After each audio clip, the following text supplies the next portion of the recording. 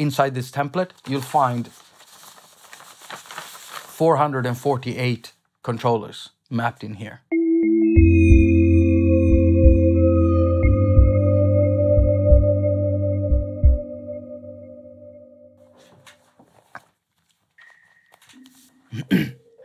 And welcome to haQ attaQ. My name is Jakob Haq, I'm your host, and you're watching a haQ attaQ episode. And in this episode, I want to introduce you to the uh, MIDI Designer Pro MiniNova template that I've made. It took me over 350 hours, I think. It definitely took more than that, but that's what I've been able to track. So I simply spent between 8 and 10 hours uh, each day for 40 days, not all at once, but spread out uh, during 2018 in order to build this. I'm a very focused kind of person, so I can't spend one hour here and there doing something. I kind of need to focus all of my attention on whatever I'm doing. So, yeah, about 40 days between 8 and 10 hours each of those days in order to make this. And so I'm really happy that it's done. Now, for those of you who are really impatient, I'm just going to go through this really quick and mention some issues and some stuff that I didn't put in there, even though it's a really, really complete template. 448 controllers mapped in here. Oh, by the way, before I forget, this template will only load and display properly on iPads. So as you can see, I've got it loaded on an iPad mini 2 right here, and I've also got it loaded on my iPad Pro 12.9 inch. So all of the iPads in between, all of those screen sizes, the iPad Air and the iPad Pro uh, 11, whatever, they're all good. You can load them and the template will display properly on all those models. However, this template will not load and display properly on iPhone simply because I didn't make it for, for that screen resolution. That screen resolution is a bit different. So you kind of have to redo it. And that's just another several hundred hours I don't have time for right now. And so, yeah, I'm sorry, no iPhone uh, template.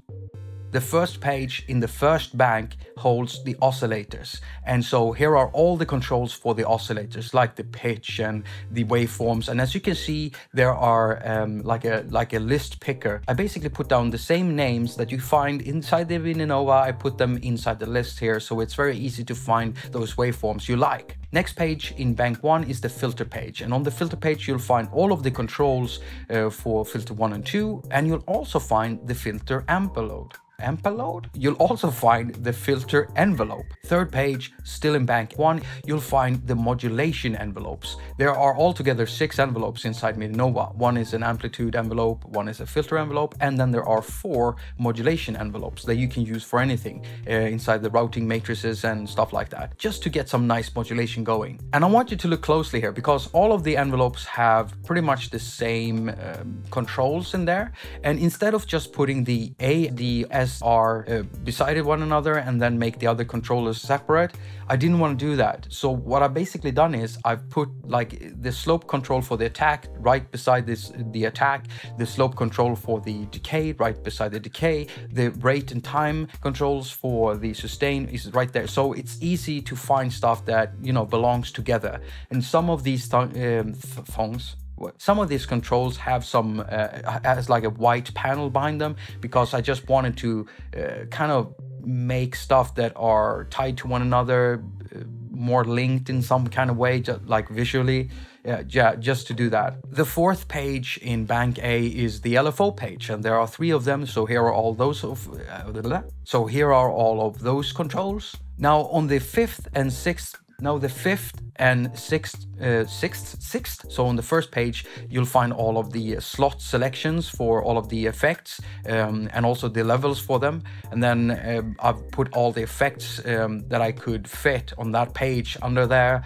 And then on the second page, there are more, but there are actually more effects uh, than these two pages and so there is a third page but that one can be found in bank 2 so we're gonna jump over to bank 2 now the first page in bank 2 is the voicing page where you can find some global voicing controls and also the amplitude envelope. Um, here you can also find the mixer and I kind of did it this way so that I would have like the oscillator and the voicing page uh, next to one another so I could easily get started with my patches the next page is the third FX page. Where you can find the panning option and you can also find the controls for the vocoder and vocal tune. I know they're not basically effects, but they basically are. So yeah, I put them in the FX page. The third page in bank two is the arpeggiator and gator bank. And really, I wouldn't have had to put them here because it's easier to work with the arpeggiator, the uh, gator and the Chorder directly from the MiniNova itself and its interface. But I put it here just to make a complete uh, controller interface. And so yeah, it's there. Now the fourth page is the global page where you can find some global controls. And here you can even turn off and turn on the uh, wheel lights for the modulation and pitch wheels. Yeah, pretty cool. You also have like a global protect on off and yeah, you can see it yourself. And there's also a little note down there from me. And then we have a notes page on the fifth page in bank two uh, where I'm describing an issue and I'll talk more about that in a little while. Uh, the sixth page in bank 2 is uh, a, kind of an empty page. And I put it here because I have not put a patch selection uh, controller inside this template because I don't need it myself. And I tried to do it and I couldn't find a good way of doing it because it's using um, LSB uh, controls in a weird way. So I just couldn't make it work. I was trying to make uh, buttons and then tie them to a list where you could see stuff. But since there are three banks and there are different controls, I couldn't get it to work. So if anyone want to get their hands on it, here's a page to do that. Now, the third bank is where you'll find all of the routing controls for the modulation matrices. There are 20 modulation matrices in here, um, and so and so there are four matrix options on uh, each page. So five pages with four each, that's 20. And there you go.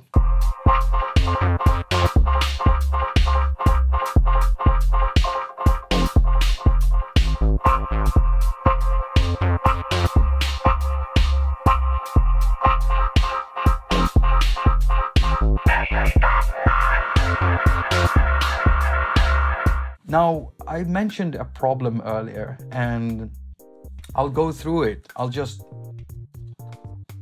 I'll just uh, pick up and read it. So there is an issue when controlling the template from the MiniNova itself. Uh, when you have like both the MIDI in and out connected to the iPad, that means uh, it can also, the MiniNova can also send uh, MIDI back and whatever you do here will change in the template. The problem with this is some of the buttons they're using the same LSB um, uh, LSB uh, address 122 and all of those buttons whenever I do a change on here on the MiniNova and I use this value knob to change one of those options from on to off then all of the buttons on that same address will light up and there's no way for me to stop that from happening unless I turn off MIDI in for all of those controllers. And I've written about this inside here. The only way you can really get around it is by deactivating the MIDI in for all of those uh, buttons. The reason why I didn't do that is because I wanted to make like a fetch patch kind of uh, button so that I could just tweak up a patch right here or just uh, gather a patch from the built-in patches and then press get patch and it will automatically just read all of the um, controlling elements and just do all the settings in here so everything would be mirrored inside here. But now I'm thinking that's a bad idea and I don't know if I can solve it, but I'm gonna try to solve it in the future. Right, so if you didn't get that word salad, don't worry. I was preparing to make a fetch patch button, meaning when I press that button, it will read all the controls inside the MiniNova and then adjust all of the controls in the template to whatever patch or preset I've got loaded currently in the MiniNova. You see, I read about a feature like that here in the um, MIDI implementation chart, and in order for me to build such a function, I need every element, every controlling element, including the buttons, to have their MIDI read on or MIDI in on. And so if I turn it off, then those functions won't get changed if I press fetch patch. Well, the thing is, I tried doing this and I couldn't get it to work properly, so I decided against it. And now uh, I'm still trying to figure out what to do about this and I might make an update to this template in the future where I just disable the MIDI in for all the buttons uh, having this issue. And again, the issue only happens when you're controlling the template back from the Mininova itself. So if you want to avoid any issues, you could just either not touch the controls on the Mininova while you're tweaking your patches with this template, or you could just not connect the MIDI out from the Mininova to the MIDI in on your iPad or your iPad MIDI interface.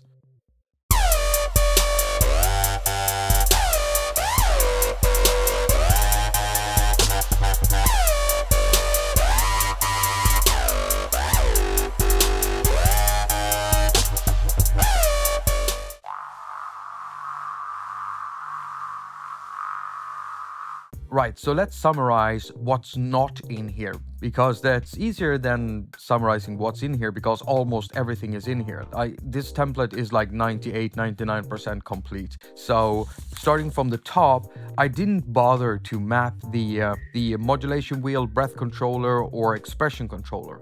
I didn't bother to map the keyboard octave controller either for obvious reasons. Now, there was a function in here to get the vocoder to actually sample or resample the spectrum for the vocoder. Uh, that's something I didn't map because I didn't really understand how to use it. And then we get to the Chorder. Now, the Chorder has some functions that you need to control from the keyboard itself. So uh, I just didn't map those either. Like I said, some of these features are easier to use uh, or operate right from the panel itself.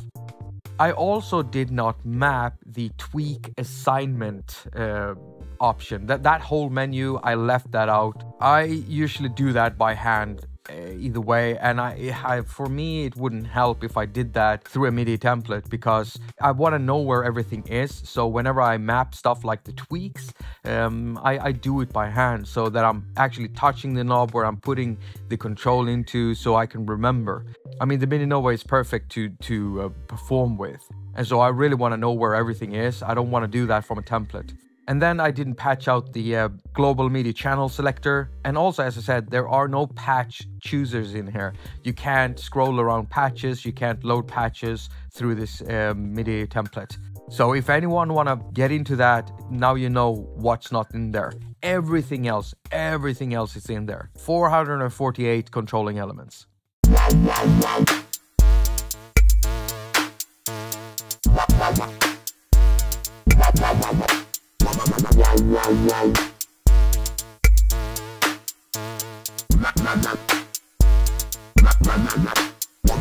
Now, if you're a Mininova user and you have an iPad and you don't have MIDI Designer Pro, then you can't use this template. You pretty much have to get MIDI Designer Pro. But then again, if you think about it, the price you pay for MIDI Designer Pro, even if you just even if you just purchase it for this template, you have to ask yourself, isn't it worth putting in that extra whatever it is, like $10 or $20? I can't remember the price, but it's not that much and it might be worth it, right? Really, really worth it. Besides, I've already done all of the work. And if you want to work on your MiniNova from your iPad like this, then this is a good option because there are no other MiniNova controls for iOS until now. So, well, there haven't been until now. This is a weird phrase. Right, so you can find a link to a post in where you can download the template, or you could just uh, browse through it from within the app itself, uh, MIDI Designer Pro, or you could go to mididesigner.com and search for it yourself.